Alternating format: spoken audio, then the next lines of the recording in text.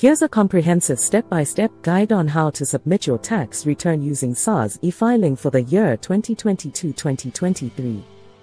I also included an explanation of what is auto assessments and how SARS auto assessments work in 2023. Let's get started. SARS Auto Assessment is an innovative and time-saving feature introduced by the South African Revenue Service, SARS. It aims to streamline the tax assessment process for individuals, making it more efficient and convenient. With auto assessment, eligible taxpayers receive a pre-populated tax return form generated by SARS based on the information they have on record. SARS gathers this data from various sources, including employers, financial institutions, and medical schemes. The form includes details such as income earned, tax deductions, and tax credits, which SARS calculates based on the available information. Once taxpayers receive their auto assessment, they have the option to accept it as is if they agree with the proposed assessment. In a nutshell, that is what SARS auto assessment is and how it works. Now here is the step-by-step -step guide on how to submit your SARS personal tax returns using SARS e-filing. Step 1. Gather your documents and information. Collect all the necessary documents and information required to complete your tax return. This may include your IRP5 IT3A certificates from your employers, investment income statements, medical aid certificates, and any other relevant documentation. Step 2 Register for SARS e-filing.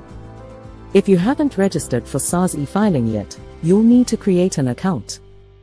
Visit the SARS e-filing website www.sarsefiling.co.za and click on the Register button. Follow the prompts to provide your personal details, create a username and password, and verify your identity.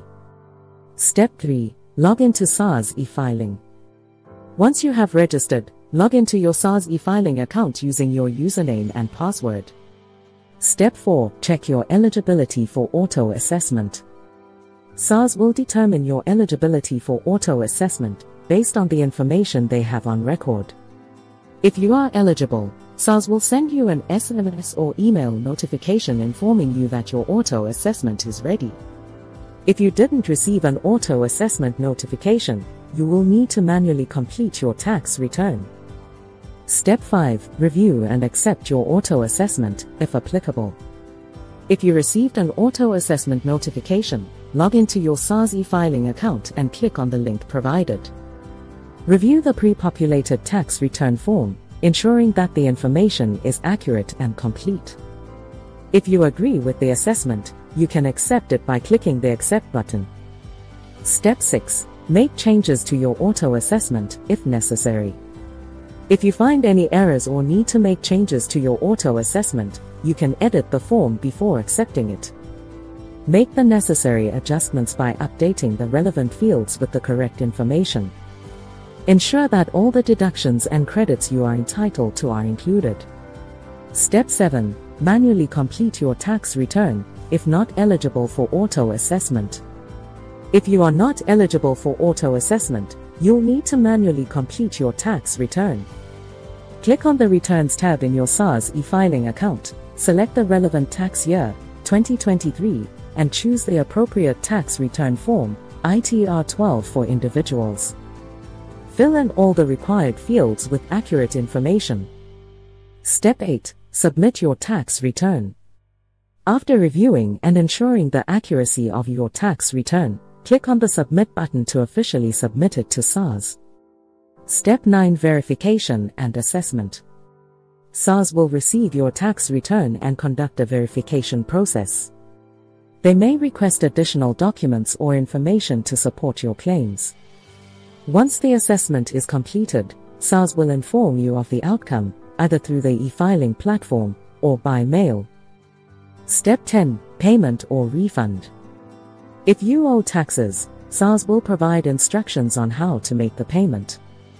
If you are eligible for a refund, SARS will process it and deposit the funds into your nominated bank account. Remember, it's essential to keep copies of all the documents and submissions for your records.